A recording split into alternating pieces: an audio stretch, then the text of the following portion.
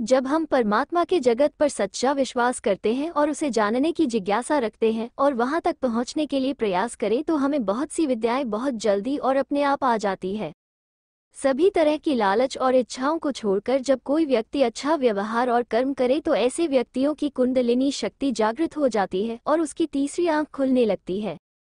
आखिर कौन कौन सी जादुई शक्तियाँ आपको मिल जाती हैं? इस वीडियो में हम जानेंगे तो इतनी भी महत्वपूर्ण जानकारी के लिए वीडियो को एक लाइक ज़रूर करें और ऐसी ही रोचक वीडियोस के लिए चैनल को सब्सक्राइब करना ना भूलें। तीसरी आँख को छठी इंद्रिय भी कहा जाता है। ये सब चमत्कारी शक्तियाँ व्यक्ति को तभी मिलती है जब वो पूर्ण संकल्प के साथ ध्यान करे। ऐसा ज़्यादातर तब होता है जब इस प्रकृति को ये लगता है कि व्यक्ति इन सब विद्याओं का प्रयोग मानव कल्याण के लिए करेगा या दूसरों का परमात्मा में विश्वास बढ़ाने के लिए करेगा। जब हमारे अंदर दूसरों का भला करने की भावना जागने लगती है तो पूरे विश्व के अदृश्य देवी देवता, गुरु संत, महात्माओं और भली आत्माओं की शक्तियाँ उस व्यक्ति के साथ हो जाती है और उसकी मदद करने लग जाती हैं। ये सब शक्तियाँ हमें गहरे ध्यान, नींद या आराम की अवस्था में या कोई साधारण सा काम करते हुए भी मिल जाती है। ऐसा इसलिए होता है क्योंकि इस वक्त हमारा मन विचार मुक्त अवस्था में होता है। हमारे मन को विचार मुक्त बनाने के लिए ध्यान सबसे अच्छा है। ध्यान से हमारी तीसरी आँख खुल जाती है। तीसरी आँख खुलने से हमें बहुत सी चमत्कारी शक्तियाँ मिलती है, जिनमें से कुछ इस तरह से है। सबसे पहली है, अद्भुत वाणी और ज्ञान प्राप्त होना। जब अचानक अद्भुत वाणी और विशेष ज्ञान किसी को मिलता है तो वो खुद भी हैरान हो जाता है कि वो ये सब कैसे जान पाया है और ये सब अचानक कैसे हो गया। ऐसा लगता है जैसे वो बोल भी रहा है और अपने आप को बोलते हुए देख भी रहा है और अपने ज्ञान को देखकर हैरान भी हो रहा है। ऐसा व्यक्ति बिना किसी तैयारी के किसी भी विषय पर बोल या लिख पाता है और दूसरों को बड़ी आसानी से समझा भी पाता है। दूसरी शक्ति है, पूर्वाभास की शक्ति प्राप्त होना। ऐसी शक्ति जब किसी को मिलती है तो उसे भविष्य में होने वाली बहुत सी घटनाओं का पूर्वाभास या पूर्वाज्ञान होने लगता है। परंतु वो उन सब घटनाओं को बदल या टाल नहीं सकता। वो ये भी नहीं जान सकता कि उसे कौन सी चीज़ का पूर्वाभास होने वाला है। किसी अच्छी या बुरी घटना का पहले से ही पता लग जाता है। कई बार ये यूनिवर्स भी हमें बहुत कुछ बताने के लिए संकेत देता है। इसके अलावा जो शक्ति हमें मिलती है, वो है भविष्य में होने वाली घटनाओं का पूर्वज्ञान होने लगता है। पूर्वज्ञान भी पूर्वाभास जैसा ही होता है। इसमें व्यक्ति को भविष्य में होने वाली घटनाएँ या तो सपने में दिखाई देती है, या गहरे ध्यान में, या व्यक्ति जब आँखें बंद करके पूरे आराम में हो, या हल्की निद्रा की स्थिति में हो। इस तरह के सपने बहुत ज़्यादा स्पष्ट दिखाई देते हैं और ऐसा लगता है जैसे सब उसके सामने वास्तविक रूप में घटित हो रहा है।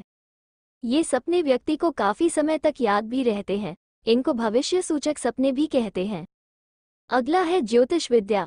आप किसी के ग्रह और नक्षत्र देखकर उसका भविष्य बता सकते हैं।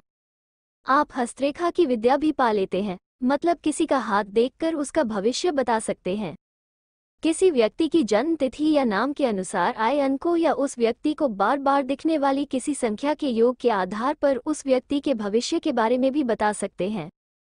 इसके अलावा मानसिक शक्ति द्वारा दूर के किसी व्यक्ति के मन में कोई संदेश, विचार या भावना आदि को भेज भी सकते हैं और प्राप्त भी कर सकते हैं। आपको दिव्य दृष्टि प्राप्त हो जाती है, जैसे दूर की या आँखों से ओझल चीज़ों, जगहों और घटनाओं को अपनी मानसिक शक्ति द्वारा आप देख पाते हैं। आपको दिव्य श्रवण भी प्राप्त होते हैं। आप ऐसी ध्वनियों, आवाजों और शब्दों को सुन पाते हैं जो कानों की सुनने की क्षमता के पार होता है। आप रेकी कर पाते हैं, अपने हाथों से अपने शरीर की ऊर्जा को दूसरे व्यक्ति के शरीर में डालकर उसका इलाज कर पाते हैं। आप किसी वस्तु को हाथ में पकड़कर या किसी व्यक्ति या वस्तु को छूकर उस वस्तु या व्यक्ति से संबंधित सूचनाओं को जान लेते हैं या उसके इतिहास के बारे में भी जान लेते हैं। वस्तुओं या व्यक्तियों को बिना छुए मानसिक शक्ति द्वारा हिला भी सकते हैं या प्रभावित भी कर सकते हैं। ओइजा बोर्ड के ज़रिए आत्माओं या देवी देवताओं से बात करना या उनसे किसी प्रश्न का जवाब भी पा सकते हैं। किसी की लिखावट देखकर उस व्यक्ति का स्वभाव, चरित्र, मन और भविष्य देख सकते हैं। किसी व्यक्ति द्वारा चाय पीने की बाद चाय के कप में बची हुई चाय पत्ती द्वारा बनी आकृति देखकर उस व्यक्ति के भविष्य के बारे में बता सकते हैं। दूसरों के मन की बातें, विचार या भावनाएँ जान लेते हैं। किसी बीमारी के इलाज या किसी दवा का आविष्कार कर सकते हैं। किसी ग्रंथ, भगवान की तस्वीर, यंत्र, मंदिर या किसी धार्मिक स्थान आदि के छिपे हुए रहस्य या किसी गुरु के गूढ़ वचनों के रहस्यों का पता लगा सकते हैं। प्रार्थना या मानसिक शक्ति द्वारा किसी का इलाज कर सकते हैं। सबसे महत्वपूर्ण है अंतरात्मा की आवाज़ का सुनाई देना। अंतरात्मा की आवाज़ हम सबके अंदर होती है। परंतु आमतौर पर लोगों को अपने अंदर जो आवाज़ सुनाई देती है वो उनके मन की ही आवाज़ होती है या माता पिता और समाज के प्रभाव के कारण या व्यक्ति की खुद की आदतों के कारण वो आवाज़ सुनाई देती है। अंतरात्मा की सच्ची और स्पष्ट आवाज़ उन लोगों को सुनाई देती है, जो लगातार सच्चे मन से और पूरे संकल्प से ध्यान करते हैं और जिन लोगों को ये संसार अर्थहीन नज़र आने लगता है। जिन्हें अच्छी तरह ये महसूस होने लगता है कि चाहे हम इस संसार में कुछ भी पालें, एक दिन मृत्यु सब कुछ छीन ही लेगी। जिनकी सांसारिक इच्छाएँ लगभग समाप्त हो गई है या जो उनके पास है, वो उनसे संतुष्ट रहते हैं।